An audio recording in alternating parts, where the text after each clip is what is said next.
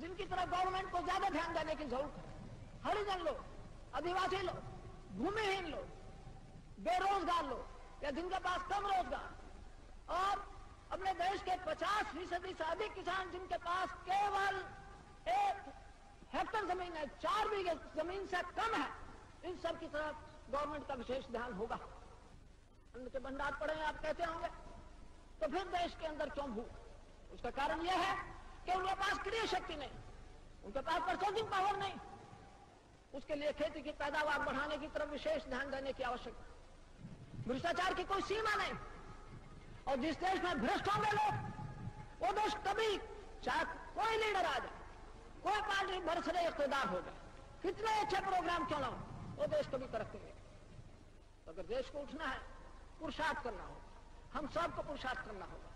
मैं अपने आप को भी उसमें शामिल करता हूँ, अपने जो सहयोगी मिनिस्टर हैं, बैठे उन सबको शामिल करता हूँ कि हमको अनवरत परिश्रम करना पड़ेगा तब जाकर ये देश उठेगा किसी भी देश, बड़े से बड़े देश की तरफ़, हमारा कोई विशेष झुकाव नहीं होगा हमारा विश्वास यह है कि महात्मा जी की शिक्षा पर चल रहे करी इस देश में, इस अंतर्राष्ट्रीय जगत में इंटरनेशनल वर्ल्ड में, इस दुनिया में शांति कायम हो सकती है और लोगों को सुख मिल सकता है। जहाँ तक दक्षिण एशिया के मुल्कों का सवाल है, हमारे संबंध उनसे सुधरे वो मुल्क किसके लिए बनाया जा रहा है। चीन से तो उनकी दोस्ती है।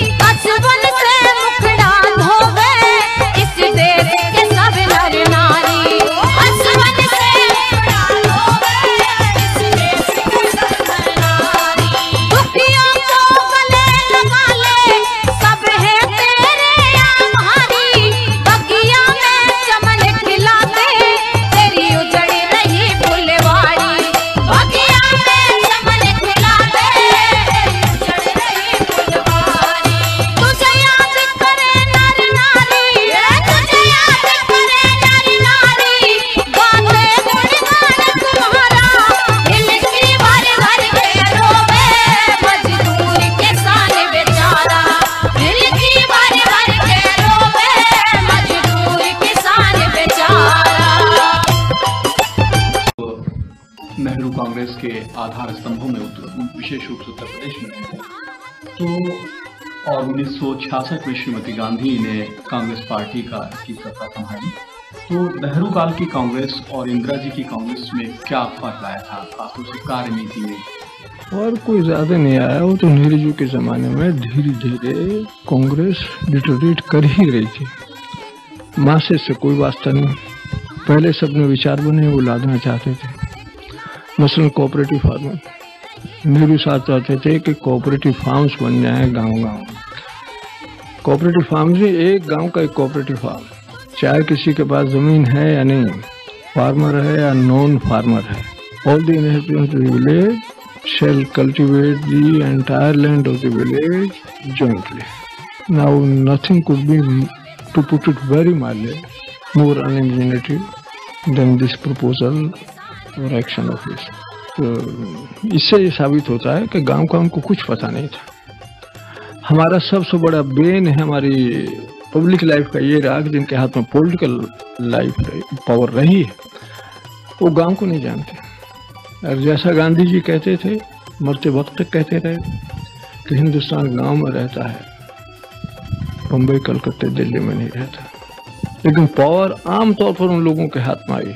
जो बम्बई कलकत्ते, दिल्ली या आगरे में रहते थे।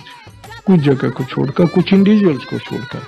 लेकिन पावर अल्टीमेट पावर जो है, नेहरू के हाथ में इंदिरा के हाथ में जिनको कोई हमदर्दी नहीं थी सोशल रिलेशंस उनसे कुछ नहीं थे गाँव के लोगों से।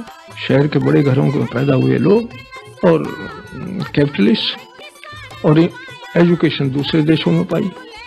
तो कोई रिश्ता यहाँ से रह ही नहीं गया है लोगों का। तो इसलिए नोइंगली अनलोइंगली देश की सर्विस कर नहीं पाया वो देश डूबता जा रहा था, उधर प्रॉब्लम बढ़ती जा रही थी पॉपुलेशन बढ़ती जा रही थी। फिर दूसरा ये, वही कोऑपरेटिव फ़ार्मिंग में आ गया कि सोशलिस्ट सोशलिस्ट अपने आप को कहना और उसमें विश्वास करना सोशलिस्टिक थ्योरी में।